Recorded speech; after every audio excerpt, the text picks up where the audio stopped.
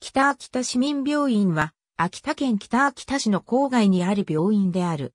北秋田市内の北秋、中央病院、公立前内、沢総合病院、北秋田市立兄診療所の3病院の機能を再編統合し、2010年4月1日に開院した。秋田県厚生農業協同組合連合会を指定管理者とする秋田県初の公設民営方式で運営される。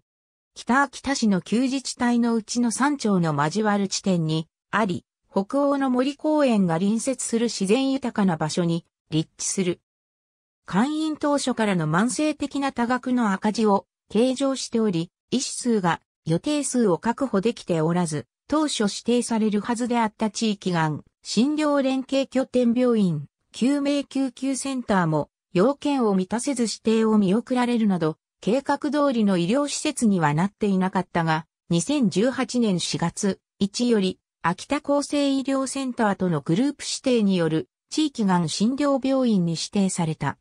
また、病院内で処置できずに大館市立総合病院へ搬送する病院間搬送も2010年から増加傾向にある。専門医の人数は秋田医療情報ネットワークが公開している数値による。